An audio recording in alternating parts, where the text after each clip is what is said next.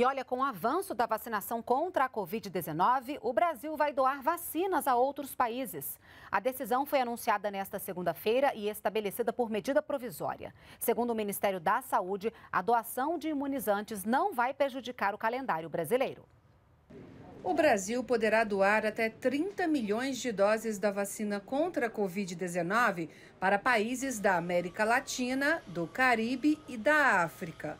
Os imunizantes foram adquiridos por meio do mecanismo COVAX Facility, grupo formado por mais de 150 países, liderado pela Organização Mundial da Saúde, para impulsionar o desenvolvimento e a distribuição de vacinas no mundo. Gostaria de indicar que as doações a serem efetivadas pelo governo federal não comprometerão nossa bem-sucedida estratégia de imunização a decisão sobre os países que receberão as doses será tomada pelo Ministério da Saúde em conjunto com o Ministério das Relações Exteriores. O Ministério da Saúde definirá os quantitativos e os destinatários dos imunizantes doados, ouvido o Ministério das Relações Exteriores, que consultará, por sua vez, os países indicados sobre o interesse em receber os imunizantes. Segundo a Organização Mundial da Saúde, 41 países devem terminar o ano com menos de 10%